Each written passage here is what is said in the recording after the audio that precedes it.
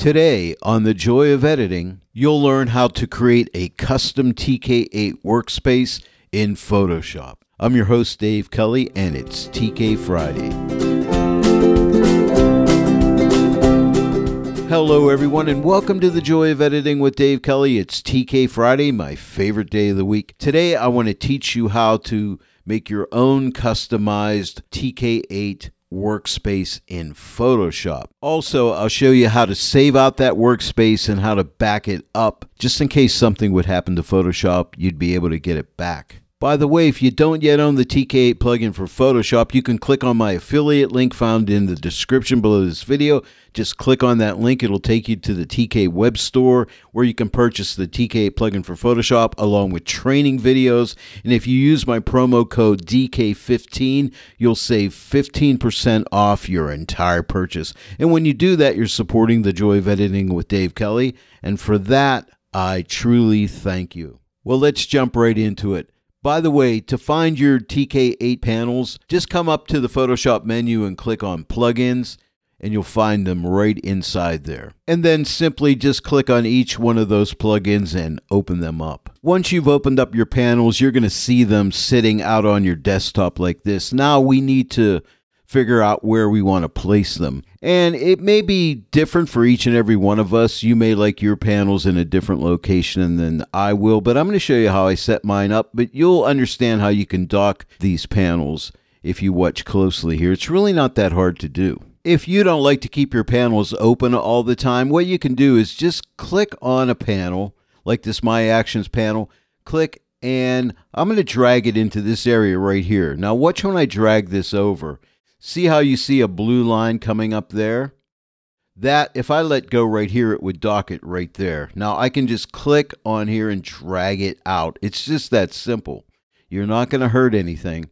But if I want to put it in here, what I would do is I would click and drag, not to that line right there, but drag a little further and you see that little blue bar right there. I'm holding my left click down on my mouse. So I'm going to release it and now you'll see it in here. So you can see this is the TK8 My Actions panel. So if I click on it, I'll open it up and then I can close it. Now, if you want to dock all of these right over here, just click, drag them over, and as soon as you see that blue line, release it. Come grab the other one, find the blue line and release it.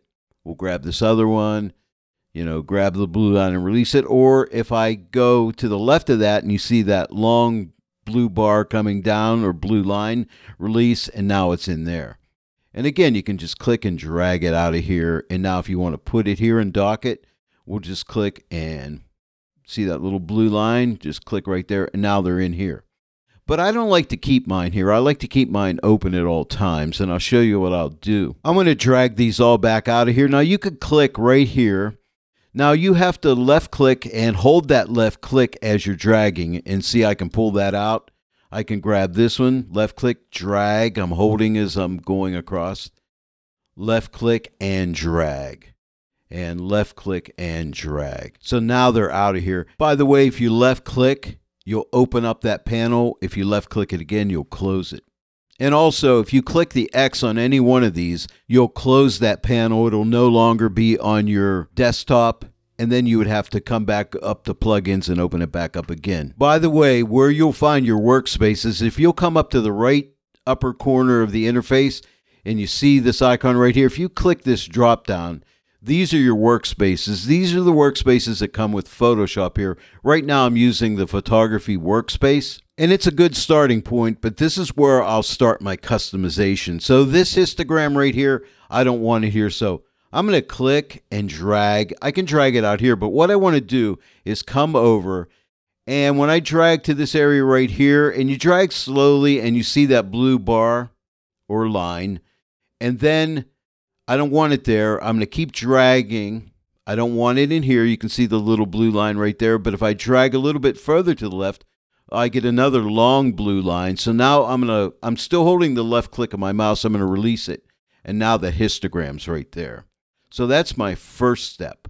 I want my histogram here. And again, this may not be the way you want to set yours up, but by watching me customize my workspace, you'll understand how you can dock things and you'll know what to do. Now, here comes a very important tip. If you're having an issue where you're saying, you know what, Dave, I'm doing what you're telling me. I'm clicking like like the navigator, I'm clicking and I'm dragging. I'm left clicking, I'm holding, nothing's happening. I click on my histogram, I left click, hold, drag, nothing happens. Here's what you need to do come up here to window, and then you'll see workspace right here. And then what you want to do is you want to come down, see where it says lock workspace. If that's checked on, your workspace is locked and you can't change anything. So click this and uncheck it. And now you can see if I take this navigator and drag it out here, it will drag out and move. And as you can see, as I move over, hover over here, you see the blue lines, they start to come up here, here, here. And then you see a square in here, so I can dock it right in here. So the secret is whenever you see those blue lines, that is a place that you can dock. I hope that makes sense. Now you see adjustments here. I'm going to click and drag this out of here. I don't use this because you could get your adjustments here, but we get all our adjustments, most of the ones we're going to use right from the TK plugin for Photoshop on either the combo or CX panel or the multi-mask panel itself. So what we can do is if I click X, I'll just get rid of this. I don't need it. And then I have my libraries here. I don't want my libraries here. So I'm going to click and drag this and I'm going to put it right here. And you see that blue line right there? I'm just going to release the left click of my mouse and now my libraries are here. So I want that there. And now what I like to do is have my multi-mask panel right here. So this is my multi-mask panel. So I'm going to click and I'm going to drag and you'll see the first blue line, the blue line here where I could put it or here, but I want to put it right in here. And, and you'll notice as I pull up here, and I'm holding the left click of my mouse down as I'm dragging, as I pull up here, you see that blue line right there. I can release it, and there's my multi-mask panel. The next thing I want to do is get my combo panel. That's this one right here, TK8CO. And if you hover over that, you can see TK8 combo panel. I'm going to click this and drag it. I want to put it right underneath my multi-mask panel. Now you'll notice I'm left clicking, I'm dragging, and hey, no blue line, Dave. What the heck is going on here? Well, here's what you need to do keep coming down to the very bottom. And when I do, oh, look, a blue line. So now I can release the left click of my mouse and there's my combo panel. Now, the combo panel's way down here. I have all this space here. That's not good, right? So if I hover right in this area right here, you see that double arrow right there? Left click, as soon as that double arrow pops up, left click and drag up really tight as far as you can go till you can't go anymore and release. And now I have my combo panel here. Pretty cool, right? Now, when we're working with the TK8 plugin for Photoshop, we're always working with channels and we save out sky channels and foreground channels. So right here next to my layers, you'll notice I have channels here. And if I click on channels, you can see here's my channels. So look, I'm going to left click and drag, and I want to put this right under my combo panel. Now, I'll left click and drag, and again, you don't see a blue bar right there, right? But not a problem. Just keep dragging down to the very bottom, and there's your blue bar. Release it, or line. I call it a bar, I call it, call it a line, sorry. But again, I can take this and hover between here, and you see the double arrows. Click and drag up as tight as I can go and release the left click of the mouse and now here are my channels. And I like to keep my paths, which are vector-based line segments. I like to keep those in the same area where my channels are. I don't use paths that often, but from time to time. So I'm going to left click and drag, hold that left click down, and as I hover in this area, you see that blue rectangle. I can release the left click of my mouse and now that's docked. Now, if I left click on channels, I can pull this over and rearrange these. I'll left click on paths and pull this over here. And then I'll click on channels and there are my channels. And if I ever need to access my paths, I can just click on paths and now that's active but I'm going to go ahead and click on channels again. Now for my workspace, I like to have my combo panel and my CX panel opened up. I have a larger monitor. If you have a smaller monitor, you may only want to either keep the combo or CX panel open, but for larger monitors, I recommend that you open them both. I like to call the combo and CX panel my Swiss Army knife for Photoshop because there's so many things I can do with it. But what I'm going to do is click on the TK8 CX panel and I'm going to drag it and I'm going to keep dragging it. Here's my first blue line. I could put it right here, see the little blue line, or I can come right here and put it right here. Now you'll notice it's right here and it's very narrow.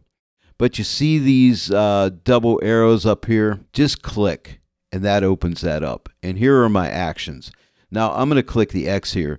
So now I have a combo and a CX panel. But what I like to do with this is keep the actions open here at all times. Now there's something that you need to do here to make this happen. Whereas after you've clicked on an action, this will automatically close. So let me X out of here. Come up here to where it says TK and click here. And there's options that we could do here.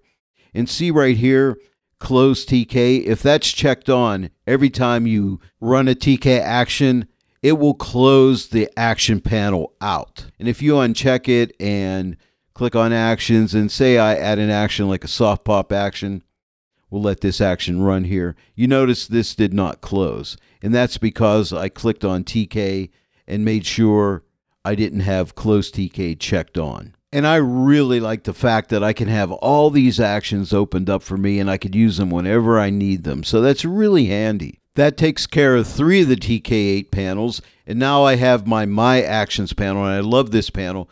So this has all my actions in it. So I'm going to click and drag. I want to put it right under the TK8CX panel. So if I drag down here, no blue line, but keep dragging to the very bottom and ha, there it is, the blue line. I'll release the left click of my mouse and there it is. And again, we have the two arrows when I hover over here. And as soon as you see them, left click and drag and just butt that up as far as it'll go and release the left click of your mouse. And now here are my actions readily accessible for me. So I find that very helpful. Next, you see the navigator panel here. I don't use it that often, so I'm going to left click and drag and put it right here. See the blue rectangle that comes up here, or the box? Just release that, and now I have my navigator here or I could click on my histogram. And the other thing I like to do, now here's my layers. This is where my layer stack will be. What I like to do is keep my properties panel right above layers. So if I go ahead and let's add a curves adjustment layer right here. You notice my properties is right here. I don't like it here because it goes over my image and that, that just gets in the way for me. So what I'm going to do is grab this properties panel. So I'm going to left click and drag this and drag it right above layers. Now, right there, you can see the entire box, the rectangular box. But if I drag higher, now you see the line right there, okay? So now that I have that line, I can release it. And now I have a properties panel right above the layers, which is really convenient. So now it's not over my image. In this info, I don't use it that often. So I can left click and drag this over and let's place it right inside of this area right here. So now I have info here and properties here. Okay, we're almost done with my setup here, my customization. All of my tools are located on the left over here. So I'm going to come here and drag right in this area, these little dash lines. I'm going to click and drag and see there are all my tools holding the left click of the mouse down, dragging over, and I'm going to hover right in this area till that blue line appears and release, and now my tools are here. So everything I want to work with is all on the right-hand side of the Photoshop interface.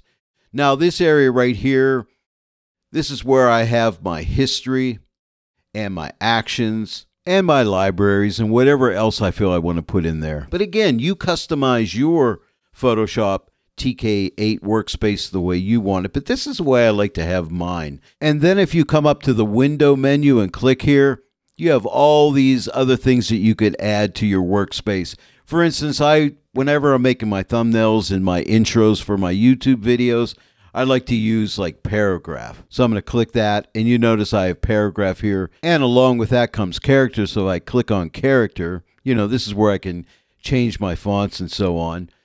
So if I don't want to keep these open, I can just click right here and that closes that up. So don't forget about window. There's all kind of stuff here that you can bring out onto your desktop. And the next thing I want to do is show you how to save your customized workspace once you have it all set up. Now, right now, you'll remember I started with the photography workspace. So basically, what I've done was changed up that entire photography workspace. And so I want to save this as its own customized workspace and I have to give it a name. And let me show you how to do it. What you need to do is on the right side at the top here, click here where your workspaces are. And what you want to do is come down here to new workspace, click new workspace. And when you do, it says name untitled. So you want to give it a name. So I'm going to call this, I'll just call this TK8 test. And this is important too. Panel locations will be saved in this workspace. Keyboard shortcuts, menus, and toolbar are optional. I do recommend that you check all these on as well. And click save. And now that workspace is saved. So if I come back here and click, you can see there it is TK8 test. And you can always tell the active workspace when you see a check by the name of a workspace. So that's the workspace that I'm on right now. Now, if I go back and click on photography again, you can see there's that photography workspace. But if I come here and change it to TK8 test, there it is. It's all good. Now, if I come in here and start playing around, say for instance, I say, you know what, maybe I don't want this here. So I take this out and I X out of here. I may have accidentally pulled this out and got rid of it by mistake too. And I say, oh my gosh, what happened? Well, you can always come back up here and you can click on reset TK8 test and everything will get reset back. So that's really very handy. Now, let's say I don't have a real big monitor, so I'm going to go ahead and take the CX panel, take it out here, and click on the X. So I don't want that. I want to move my actions to a different location, so I'm going to click and drag and move this right underneath the combo panel. So there is my actions right there. And now I may say, well, you know what? I want to save this out, but I still want to call it that same name. So here's what I can do.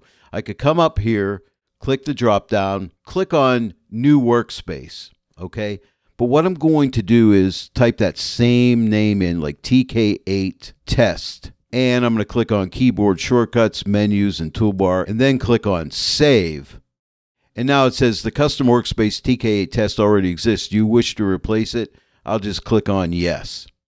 And now it is saved to the way I have it set up here. So you can alter things and change things around. You just have to resave it using the same name. Now, I altered this workspace and I changed it, but this is not the workspace I want, and I have my workspace already saved out for me, so I want to get rid of this workspace. Now, pay close attention here so you don't screw up. If I wanted to delete a workspace, I would come up here and click the drop down for workspaces, and I would choose delete a workspace and you'll notice it says workspace. There's a drop down here, and this is important. Click this because right now TK8 test is active. I cannot delete it. It's grayed out. So you can never delete a workspace that's active. So I'm going to cancel here. And what I'm going to do is come back up here, click, and go to my TK8 workspace, which is this one right here. So I'm going to click it, and there's my TK8 workspace. Now I want to get rid of that TK8 test workspace.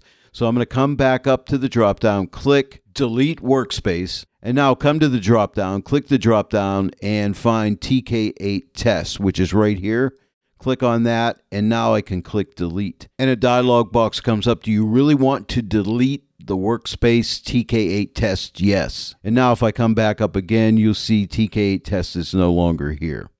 All right. So that's very, very important. I have a few tips for you that Tony Kuyper wanted me to mention in this video. I'm going to do that now, but stay tuned to the end because I'll show you how to back up your workspace and you don't want to miss that. The first tip is concerning tooltips. Now, on any of the TK panels, you'll find this TK button. So you see it here on the combo panel, you'll find it here on the multi-mask panel. If I X out of the CX panel, you'll find it right here. If you want to access tooltips, so right now you don't see tooltips. Now, if I hold my Option or Alt key down and hover over buttons, you can see the tooltips, okay? They'll come up there for you. And that's the way I like to keep it. After you get to know the panel, you don't need the tooltips as much, but occasionally you do. And if you need to find out what a certain button does, just hold your Option or Alt key down and hover over, and you can read about what that button will do. If you want to keep your tooltips on, on any of the TK panels, and you have to do this for each individual panel, click on TK and click on Show Tooltips. Now you'll notice when I hover you over here, you'll see the tooltips, but you don't see them here. I'd have to come up here and actually turn on the tooltips here, show tooltips, check that on, and now those will be there. And again, if I don't want them, go back to TK and uncheck show tooltips. And now they don't show up. As well as the TK combo panel, I'll click here, uncheck show tooltips, and now they will not show up. So that's the first tip. Another tip is if you ever have any uh, modification layers opened up from using like luminosity mask or something like that, and they're stuck and you can't get out of it, what you need to do is command or control click on the TK on the multi-mask panel. And when you do that, it resets the panel and removes several layers and channels that the panel has possibly generated, which are no longer needed. Now, this condition can occur sometimes if you're working on two separate images in Photoshop. And let's say you were working with a luminosity mask on the first image, and then you switch to the second image. And on the second image, you X'd out of the multi mask panel, which you weren't even using on that image. And then when you come back to the first image,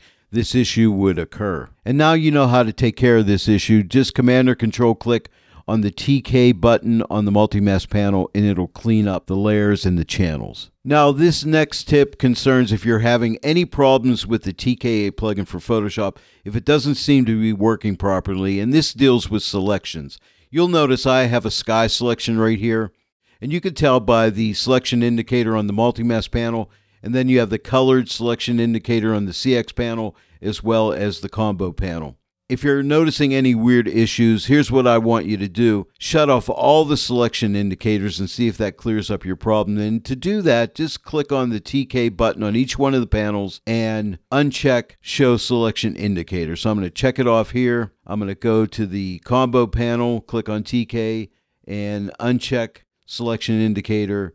And then we'll go to the CX panel and uncheck selection indicator. Okay, now we don't see the selection indicators around the panels. Now, that's not generally a problem, but there's been some cases reported where some people have had problems like that, and shutting off the selection indicators and smart object indicators should take care of it. I've never encountered that issue, but if you have, now you know what to do. I'm going to go ahead and turn my selection indicators back on. I'll start with my multi-mask panel, click on TK, and click on Show selection indicator and let's go to my combo, do the same thing, TK, show selection indicator. And generally on my CX panel, I leave it off because I just leave these two on. In reality, I probably only should leave this one on because this one to me is the easiest to see. I'm going to leave it off on this one here. And right now I have a selection, I'm not using it, so I'm just going to click this button to deselect that selection. The last thing I want to do is show you how to save out your workspaces as a backup in case something happens to Photoshop and if it ever crashes and you need to reinstall Photoshop, you'll lose your workspaces. So I'll show you how to save those out. First, I'll show you on a Mac and then a PC. On a Mac, go to a window where you don't have anything opened up and Finder should be right here. So click on Go and look for library. You're probably not going to see it. On a Mac, it's hidden. You have to hold the Option key down, and then library will pop up, and then you can click on it. I think I did something to my Mac where it would always be here. I can't remember how I did it, but it shows up here. So just click on library. And then what you want to do is find preferences. And preferences is right here. Double click this folder, open it up, and then look for Adobe Photoshop 2023 settings. Double click that and then you'll find a bunch of different preferences files from Photoshop. But you'll notice a folder here called Workspaces and one called Workspaces Modified. Workspaces Modified is what Photoshop uses whenever you do any changes and you don't save it out. When next time you open up Photoshop, whatever you changed will be just the way you left it. Now, if I double click on this Workspaces folder, you can see I have two files in here. One called TK8 setup video.psw Photoshop Workspace, I believe that stands for, and one called TK8 Photoshop Workspace.psw. This folder will house all the workspaces that you can create, and you can create a bunch of different workspaces if you have specialized things that you like to do in Photoshop, and you may like to have different workspaces for different types of edits that you make. Right now, I'm in that folder called Workspaces, so I'm going to click this back arrow and now what I want to do is just right click on this workspace and click on copy. And then I'm just going to right click on my desktop because I'll save this on my desktop, but you can save it wherever you want, just so you know where it's at. Right click and I'll paste the item right here. And now you can see there's the workspaces folder right there. So if something happened to Photoshop and I'd have to do a clean install, well, I could come back to this location, to this folder, and here's the path. Library, Preferences, Adobe Photoshop 2023 settings. Um, I'm at Workspaces, and here's the Workspaces folder. So I could delete this folder and then just take the folder that I saved out and drag it into here. And then when I launch Photoshop, my workspaces would be there. And if you have a PC, it's going to be different. Now, I do not have a PC, but I have a screenshot here.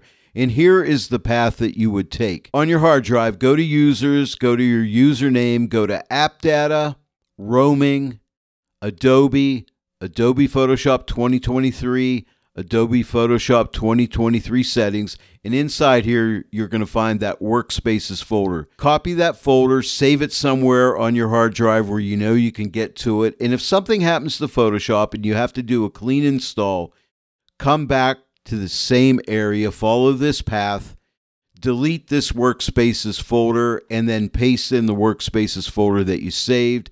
And then when you restart Photoshop, your workspaces should be there for you. Well, there you go, everyone. Now you know how to create a custom TK8 workspace in Photoshop and also how to save that out. Hey, if you enjoyed the tutorial today, please give it a like and share it with your friends. And if you're not yet a subscriber to this channel, Please subscribe and don't forget to click that bell notification icon, and then every time I upload a new tutorial, you'll get a notification. I want to thank each and every one of you for joining me today in the joy of editing with Dave Kelly, and I'll see you all right here next time. But until then, happy editing.